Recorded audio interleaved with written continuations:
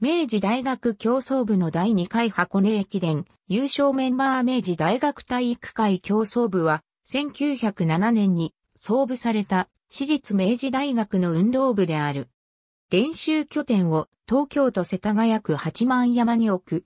競争部としては日本の大学の中でも最古の歴史を有し、東京箱根間往復大学駅伝競争では、早稲田、慶応義塾、東京高等師範とともに第1回大会以来、予選あるいは本戦に参加し続けている。箱根駅伝を走った園原武弘は、バルセロナオリンピックでは競歩の日本代表として出場した。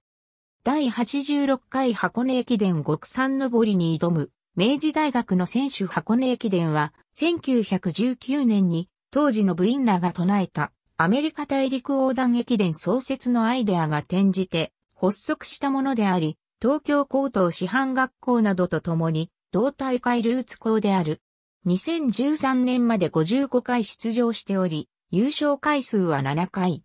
戦後初開催の23回大会、その2年後の25回大会で、それぞれ総合優勝を果たしたものの、以後、総合優勝からは遠ざかっている。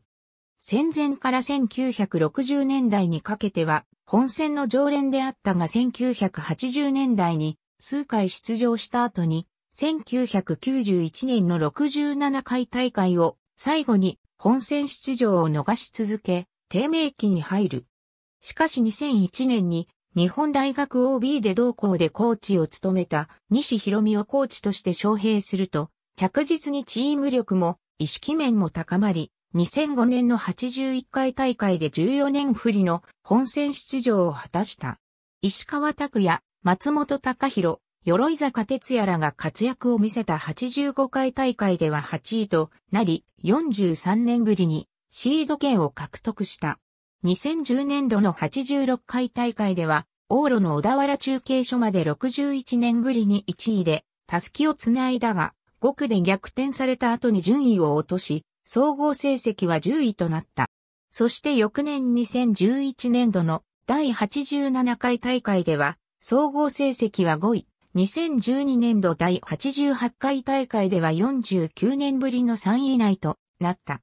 その後、2014年の全日本大学駅伝で大学最高の2位に入ると、2015年度の第91回大会では、大陸の修歩、有村祐希、文元里らを要して64年ぶりに往路2位に入る。黄金期を築いたように見えたが、以降は低迷。翌年度の第92回大会では、横手健、木村誠らを要しながら2区間で、区間最下位に沈むブレーキがあり、総合14位に終わり、続く第93回大会では、袋、鶴見中継所で繰り上げ、スタートを喫するなど、過去最低タイの18位に終わる。そして、第94回大会では、予選会において10位、東京国際大と2分31秒差の13位に沈み、10年ぶりに本戦の出場権を失った。2018年4月に前年度からコーチとしてチームに携わっていた山本祐希が監督に就任。第95回大会の予選会を5位で通過し、2年ぶりに本戦出場となった。節目の60回目の出場となった本戦では、序盤からシード権争いを繰り広げるも、10区のブレーキも響き、最終的には17位に終わった。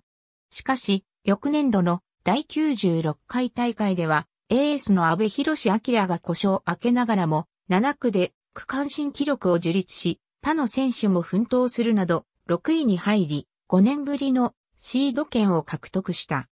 箱根駅伝の記録一覧、歴代本選出場校一覧も参照。箱根駅伝誕生日は明治大学体育会、競争部、箱根駅伝予選会を5位で突破、2年ぶり60回目の本選出場を決める。第95回箱根駅伝、明治大学体育会競争部は、総合17位で、ゴール明治大学100年史編纂委員会、明治大学100年史、第4巻通史編に、学校法人、明治大学、1994年、231ページ、孫規定とスポーツ、平和寺、島前1 2020年8月3日閲覧。ありがとうございます。